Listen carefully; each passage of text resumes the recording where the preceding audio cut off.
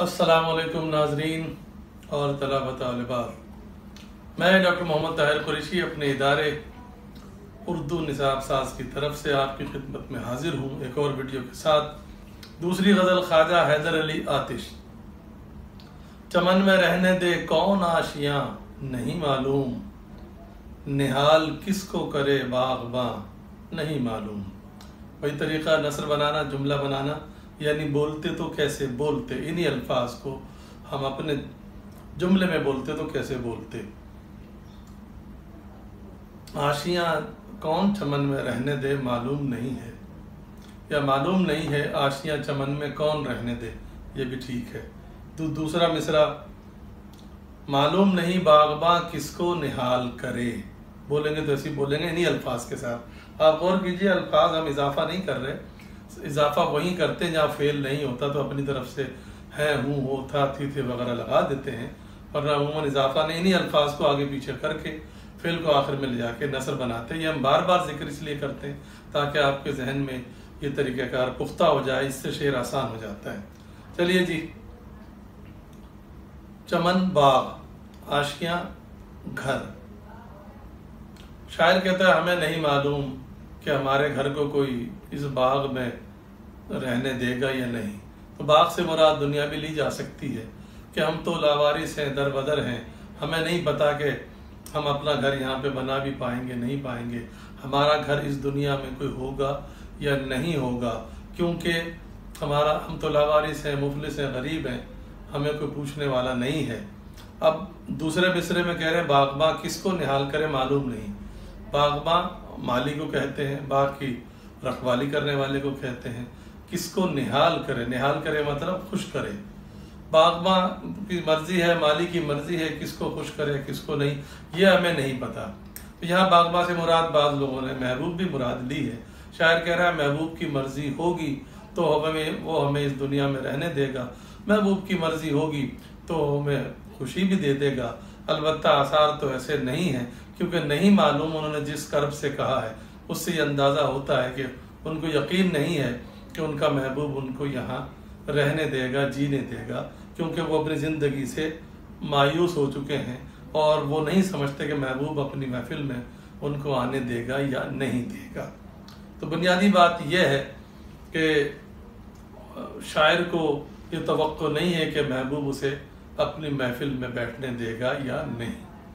अगला शेर है अखीर हो गए गफलत के दिन जवानी के। बहार उम्र हुई कब खिजा, नहीं मालूम।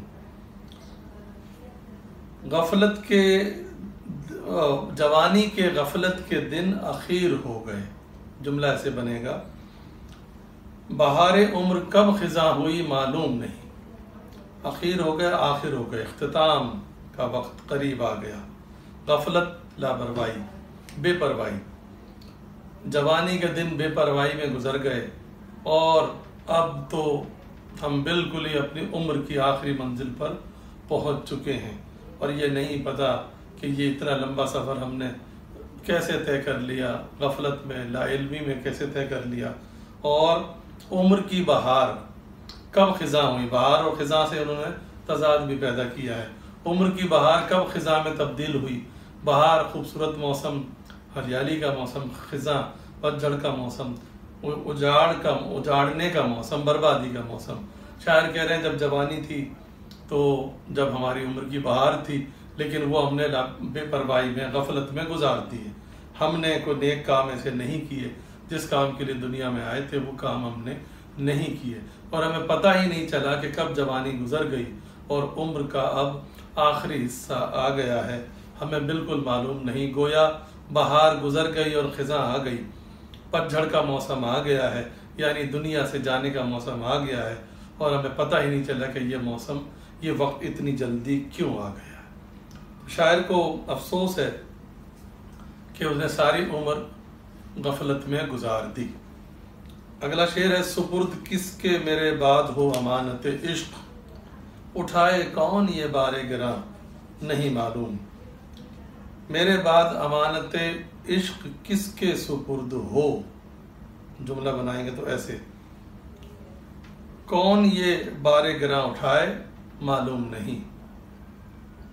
अमानत इश्क इश्क की अमानत। जो भी मरकब लफ्ज आया करे कंपाउंड वर्ड तरकीब कह लीजिए, उसको पहले सीधा कर लिया करें। सीधा करने का असूल है कि उल्टी तरफ़ से आते हैं। और जहाँ ज़रूरत हो काकी के लगाते हैं कहीं कहीं नहीं भी लगता। अमानत इश्क इश्क की अमानत। मेरे बाद किसके सुपुर्द होगी? किसके हवाले होगी? यानी मेरे बाद इश्क करने वाला कौन होगा? शायद ये कह रहा है कि अब तक जो ये अमानत थी, यानी अब तक जो इश्क जैसा जज्बा था, वो मेरे पास था। अब मुझे नहीं मालूम कि मेरे जाने के बाद कोई मेरे जैसा आशिक होगा या नहीं, क्योंकि उन्होंने इश्क को अगले मिसरे में बारह कहा है। बारह भारी बोझ, वजनी बोझ। कि नहीं, ये तो बहुत वजनी बोझ है, इसको हर कोई उठा नहीं सकता। इसलिए इसलिए मुझे मालूम नहीं। बाहिर तो वो कह रहे हैं कि मुझे मालूम नहीं, लेकिन उनका लहजा बता रहा है कि उनको यकीन है कि उनके बाद इसका बोझ उठाने वाला कोई भी नहीं होगा। इसमें एक लिहाज से अपनी तारीफ़ भी है। शायर ये कह रहा है कि ये मैं ही हूँ, ये हम ही हैं जो इश्क जैसी भारी ज़िम्मेदारी उठाए फिर रहे हैं, लेकिन अब नहीं उठा सकते। क्यों अब हमारा वक्त आ रहा है? लेकिन मुझे तो फ़िक्र इस बात की है कि हमारे बाद ये इश्क का वो बोझ कौन उठाएगा? तो इसका मरकजी ख्याल ये हो सकता है कि शायर को शक है कि उसके जाने के बाद इश्क का बोझ कोई उठा पाएगा या नहीं। अगला शेर है खुली खाना सयाद में हमारी आँख। कफस को जानते हैं आशियाँ, नहीं मालूम। इसको सीधा करें, जुमला बनाए नसर बनाए। खाना सयाद में हमारी आँख खुली है, या हमारी आँख खाना सयाद में खुली है। कफस को आशियाँ जानते हैं, मालूम नहीं है। खाना सयाद, पहले सीधा कीजिए, सयाद का खाना। खाना घर को, जगह को कहते हैं, सयाद शिकारी को कहते हैं, और कभी कभी महबूब को भी कह देते हैं, क्योंकि वो भी अपने इश्क जाल में गिरफ़्तार करता है, शिकार करता है। खाना सयाद कैद में हमारी आँख, कैद के घर में हमारी आँख खुली है। गोया जेल में हमारी आँख खुली, शायर ने ज़िंदगी को, दुनिया को जेल से तशबी दी है। हमारी आँख तो इस कैद खाने में खुली है। और हम तो इस कफस को, कफस कहते हैं कैद खाने को। इसको, इसी वजह से इसको हम आशियाना ही समझते रहे, यानी अपना घर ही समझते रहे। और कब से समझते हैं, ये हमें मालूम नहीं। मतलब यह है कि शायर कहना ये चाहते हैं कि हमारी तो ज़िंदगी हमेशा कैद में गुजरी, चाहे वो मोहब्बत की कैद हो, चाहे वो गमों की कैद हो हती कि हम उसके इतने आदि हो गए हैं, हमें ये भी नहीं मालूम कि हमने इस कैद को अपना घर कब से समझना शुरू कर दिया था। तो ये दुनिया की तरफ़ भी इशारा है कि दुनिया को घर कहा गया कि इस दुनिया, ये दुनिया असल में सयाद का घर है। क्योंकि सयाद शिकार करता है? तो दुनिया भी मुख्तलिफ़ तरीक़ों से शिकार करती है, अपनी जाल में फंसाती है। और इंसान को नेक अमाल से दूर करती है। वो कह रहे हम दुनिया की जाल में पता नहीं कब से फंसे हैं। हमें तो लगता है कि हम पैदा ही यहीं पर हुए हैं। हमारी आँख ही यही खुली है और हमने इसी को अपना घर समझ लिया था। अब हमें मालूम नहीं कि ये कब तक सिलसिला चलता रहेगा। शायद इससे मुराद ये है, मरकजी ख्याल ये बन सकता है कि शायर इस दुनिया को एक धोखा या एक कैद खाना समझता है। मकता है छुटेंगे जीस्त के फंदे से किस दिन आतिश। जनाजा होगा कब अपना रवा, नहीं मालूम। ए आतिश, किस दिन जीस्त के फंदे से छुटेंगे? अपना जनाजा कब रवा होगा मालूम नहीं है। जीस्त ज़िंदगी, फंदा जाल, शिकंजा। जीस्त, हम ज़िंदगी के जाल से, ज़िंदगी की कैद से कब निकलेंगे हमें मालूम नहीं। इसका मतलब कुछ ज़्यादा ही तंग आ गए ज़िंदगी से। शायद हजरात अक्सर अपनी ज़िंदगी से तंग आए हुए दिखाई देते हैं क्लासिकी शुरा में ये बहुत है। तो शायर भी यही कह रहे हैं, ज़िंदगी ने हमें दुखों के सिवा, मुसीबतों के अलावा, परेशानियों के अलावा कुछ नहीं दिया। तो हमारे लिए तो ज़िंदगी एक कैद खाना है, एक जेल है, एक शिकंजा है, एक जाल है। हमें तो अब पता नहीं इस जा, इस कैद खाने से हमारी जान कब छूटेगी, कब हम गमों से छुटकारा हासिल करेंगे और कब हमारा जनाजा अपनी मंजिल की तरफ़ यानी कब्रिस्तान की तरफ़ रवा होगा, रवा का मतलब होगा जारी होगा, चलेगा। यानी कब हम मरेंगे, कब हमारा जनाजा उठाया जाएगा। ये बात इंतहाई बेकसी और बेबसी के आलम में कही जा रही है।